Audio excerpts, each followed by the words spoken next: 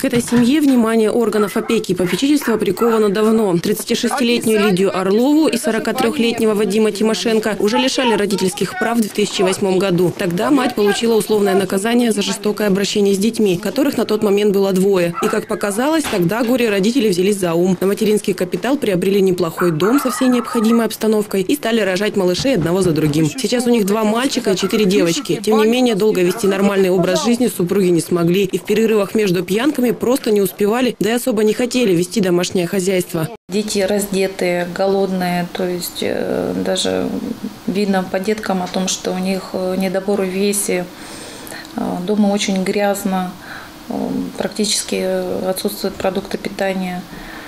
Старшая дочь, которая вот уже должно исполниться 18 лет, практически дома не живет, 9 классов не закончила. Младшие дети с января прошлого года систематически не ходят в школу. По словам матери, они болеют. Специалисты органов опеки определили, у мальчиков стригущий лишай. Когда судебные приставы постучались в дверь, родители находились на работе. Время от времени они подрабатывают на соседней ферме. Общий доход в семье не превышает и 7 тысяч рублей в месяц. С детьми оставалась старшая дочь. Пускать в дом незнакомых людей она отказалась. Пришедшая через несколько минут мать загородила собой двери и объявила, что без мужа она тоже никого не впустит в дом. Дождавшись отца, приставы убедили его решить вопрос мирным путем, чтобы не травмировать психику детей. Ознакомившись с исполнительными документами, глава семейства открыл дверь. Больше всех переживала старшая дочь. Ей почти 18, и изъятие семьи девушку не затрагивало. Успокоилась она только тогда, когда ей предложили сопроводить братьев и сестер в районную больницу. Они сейчас находятся под обследованием, но а в дальнейшем по решению суда, раз э, родители лишены родительских прав, их поместят в Кипельский э, детский дом.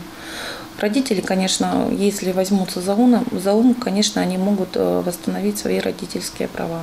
Но, конечно, им стоит не пить и работать. Марина Белкина, Александр Менщиков, Светлана Брагина. Информационное агентство «Курган.ру».